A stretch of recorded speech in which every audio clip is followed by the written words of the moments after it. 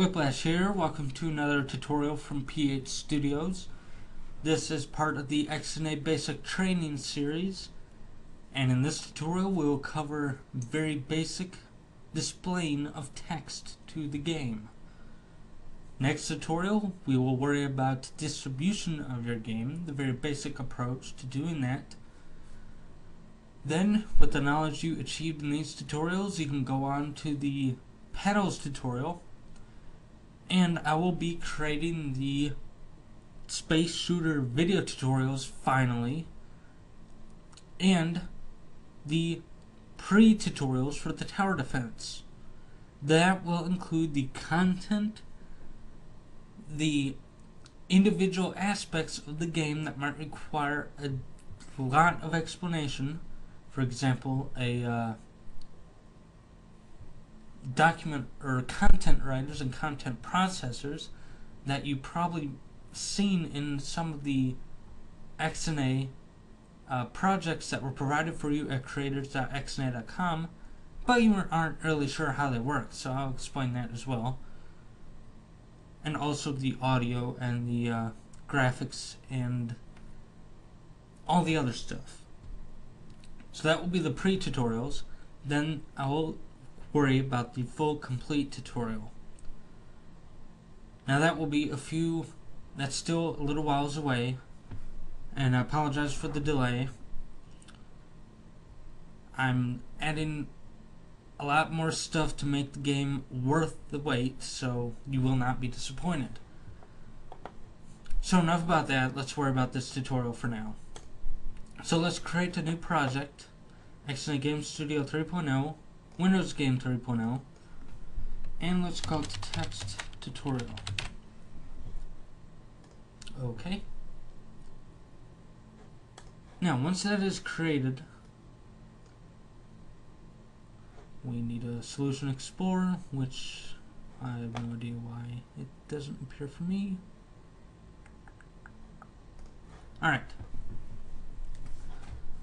So, right now we just have the basic game engine, which is just displaying a blue window on the computer. And we want to display any text we want on here. In order to do that, to do that, we need a sprite font object. So right click content, go to add new item. That's going to be a sprite font. And call anything you want. I'm going to call basic. And you need the dot sprite font at the end. And that will allow us to add fonts to our game. And you can have as many sprite font files as you want if you want one aspect of your game to have one font name and the other aspect of your game to have another font name. For example, you want the uh, menus to have Arial, but you want the game itself to have Times New Roman, you need two sprite font files. So, for a very basic font that has been around for ages, just Times New Roman if you're on Windows, you should have this. And let's leave everything else the same. Now for sprite font, the file, this is an XML, the XML. You can modify this font name that's inside of your uh, fonts folder.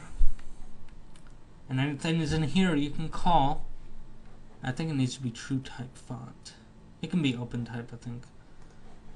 Uh, you can modify the size the spacing, and the style from regular to bold to italics and stuff like that. Alright, so that's our sprite font file. Let's get it inside of our game. So to do so, we basically do the same thing we did with the texture 2D, but we need a sprite font object. Now inside the load content, do the same thing we did with the texture 2D, so sprite font, the object, is equal to content.load. And instead of texture 2D, we provide sprite font, the class, and the asset name, just like usual. We can click that and get the asset name. wrap it in quotes, and in parentheses and semicolon. So now that the sprite font object is initialized, we can start drawing our text. So to do that, we go to sprite batch dot begin sprite batch dot end. Now in between is going to be sprite batch, and this is a new call, draw string. Now we have six different overloaded methods we can choose from, but I'm just going to, for this tutorial, I'm just going to choose one of six, which is the sprite font, the text, the position, and the color. So our sprite font is the object we just created, which is sprite font with the lowercase s. The text can be anything we want. This is my first string in X and A. Make sure you wrap that in quotes. The position can be anywhere you want. That's inside the game window or else you will not be able to see it. And the color will determine the color of the text. So let's choose white. Now we press F5. Now I have text dis text displayed here with a white font style. Now we can go around and change the color to black. And we have a black font. Or how about color.red? Now we have a red font and just play around with those settings. And if we want it to be 0 and red, we just moved it to the 0 x-axis.